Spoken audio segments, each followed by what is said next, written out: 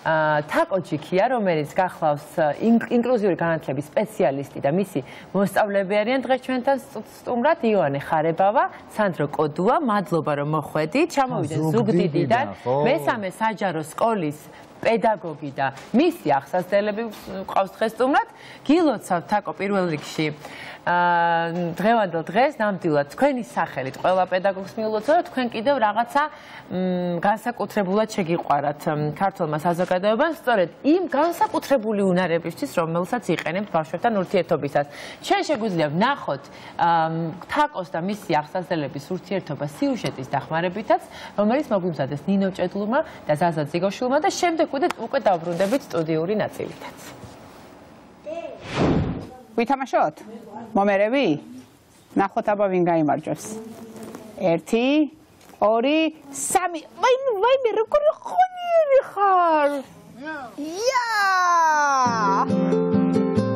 ბანალურად გამომდის, მაგრამ თუ არ გაქვს უნარი, ყველაზე ძვირფასი უნარი სიყვარული, შეუძლებელია შეძლო იყოს სპეციალური განათლების მასწავლებელი. მე ვარ. ეს რა ფერია? წითელი. შე ყველაფერი გაქვს.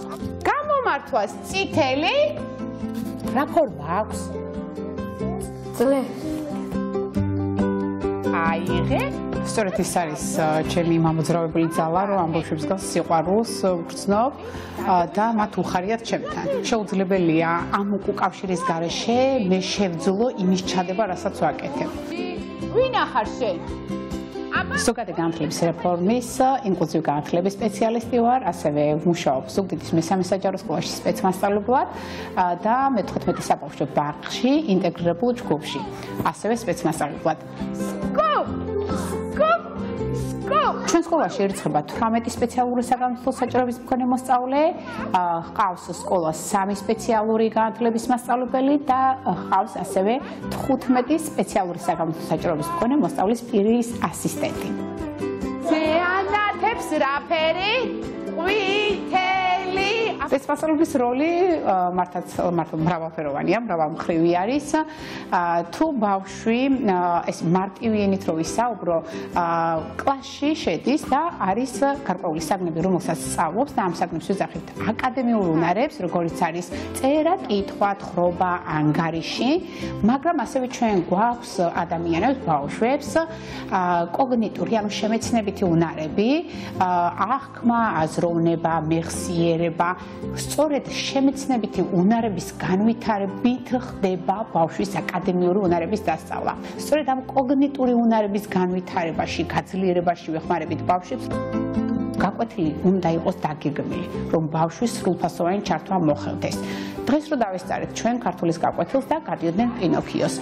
ის რესურსი, ის ილუსტრაციები, ის თვალსაჩინოებები, რომელიც დღეს გამოიყენა მასწავლებელმა გაკვეთილზე, იყო წინასწარ მომზადებული და გადაგეგმილი. თუ გვინდა შედეგი, სპონტანურად ადგილზე ვერ მოახერხებს მასწავლებლის სრულფასოვან ჩართვას. უნდა იყო აა ემოციურად შვიდი უნდა შეგეძლოს კომუნიკაცია და კომუნიკაციაში იგულისხმება არა მხოლოდ ბავშვთან ურთიერთობა, სასკოლო საზოგადოება აქვს მთლიანად ჩართული. გარდა იმისა, რომ ბავშვის უნარების განვითარებაზე მუშაობს სპეციალისტები, უნდა შეგეძლოს საზოგადოებასთან კომუნიკაცია, უნდა შეგეძლოს ცნობიერების ამაღლება ამ საზოგადოებაში. მე თქვენ მასწავლით რომ ჩვენ ერთმანეთსგან განსხვავდებით თმისფერი, თვალისფერი, სიმაღლით. მე ვარ ერთ-ერთი შენი ამხანაგი. მე შეიძლება ზოგჯერ ვტიროდე. სამაგეროდ ნახე შენ ჩემი ვიდეო მე რა კარგად მღერი ვარ? ან მე ძალიან ბევრი ძლიერი მხარე მაქვს და მე თუ მივაწოდი საზოგადოებას ამ ბავშვების ძლიერ მხარეებს დაიმსხვრევა стереოტიპი, რომ რაიმე ჩემი შვილის კლასში აუტისტური სპექტრითაა ბავშვი და ხელი არ დაარტყას. ნახეთ, იმაზე მეტი ინფორმაცია გვაქვს ნეგატიური, ვიდრე დადებითი და პოზიტიური და სწორედ ეს იყო ჩემი მიზანი ვიდეოების გადაღების, რომ წამომეწია ძლიერი მხარეები. უკვე იცით როგორ ხდები ამ ბავშვებს. ეს ის ბიჭი არაა, ცივყავას რო ადუღებს. ვაიმე, ეს ის ბავშვი არ არის, სულ რო ეხუტება. Thank you. ჩემი ძლიერი მხარეა ის, რომ არ ვნებდები. ფიქრები მქონდა, განსაკუთრებით, როდესაც პირველ ნაბიჯებს ვდგამდი, რა ფიქრები მქონდა, ემოციები მქონდა, რომ რამე სხვა არ ვაკლებ. კი არა, ჩავიქნიე ხელი.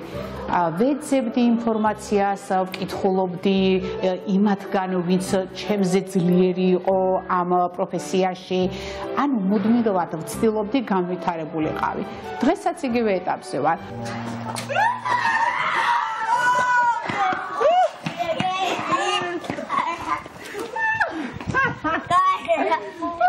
გაი მეთქიდა გაიჯობა. პრეზიდენტი კი, პრეზიდენტი ვარ, რომ მხოლოდ შენი.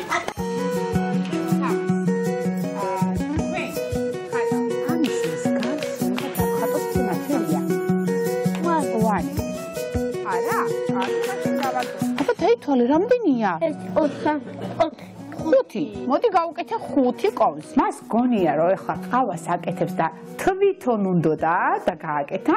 ამ დროს მე ის გადავიტანე საჩემოდ და ვიმუშავე ანგარიშზე, დათვაზე, გადათვაზე, მეტყველებაზე, კომუნიკაციაზე. მე ვარ მზე. ვის უნდა მზეს ჩაეხუტოს? მე კიდე ვის უნდა მზეს ჩაეხუტოს? ერთ-ერთი კომენტარი იყო რომ ეს ჩაცმის სტილი და ფერადი თმები რამე ნაწილი არისო ამ აქტივობის და ყოველდღიურობის ნაწილია. მათ მოსწონს სწორედ ის რომ მე ვარ ფერადი და ვიცინი. იომ ისიც აღნიშნა ერთხელ რომ ანუ ფერადი წამწარები გავიკეთე და ეს წითელი მე არ მომწონსო, აწირო გაიკეთებო, მწვანე ფერი გაიკეთეო. ანუ მაძლევენ თან მიმართულებას რა მოსწონთ მათ ჩემში და მეც ვცდილობ გავითვალისწინო რომ მათთვის იყო მოსაწონი.